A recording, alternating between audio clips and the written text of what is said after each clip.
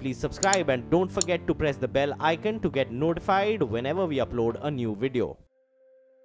A builder delays construction. B builder moves the buyer's possession date again. C builder scams investors in buyback scheme and so on. That's what we hear every other day. A house has too many emotions and dreams attached to it. But when the home buyers don't get what they have paid for on time or ever, it breaks a family. Home buyers have been demanding that the defaulters be named on the authority's website for five years so that the potential buyers can make an informed choice while purchasing flats. Listening to the endless requests of home buyers, Noida Authority has uploaded a defaulter list on their website. From that list, below are the five defaulters in descending order. Unitech Group Established in 1971 by a group of technocrats, it claims to be the India's leading real estate player. But what kind of leading group does not give possessions to their buyers on time? They owe the state government roughly around 5000 crore.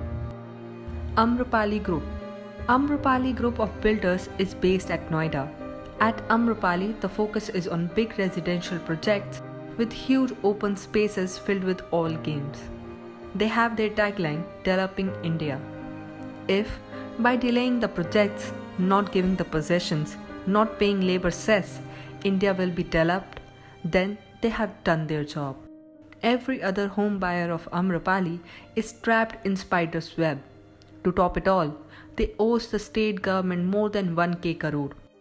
AIMS Max Gardenia Developers AIMS Max Gardenia Developers Private Limited within a few years of its inception, buoyed by its commitment to quality, have successfully achieved exponential growth across real estate area. Today, it is among the fastest growing real estate developers. This is what their website reads.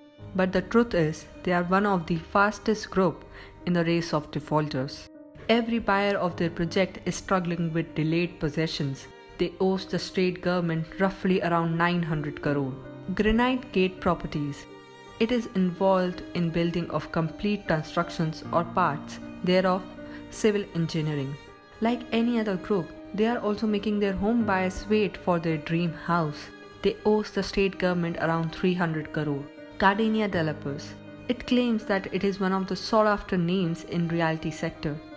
One of the sought after names of the sector is also giving the problems to the home buyers they owe the state government roughly around 200 crore. Nowadays, booking a home is easy, but getting the possession is the biggest fight. List is online, but is this too late to upload a list on a public forum?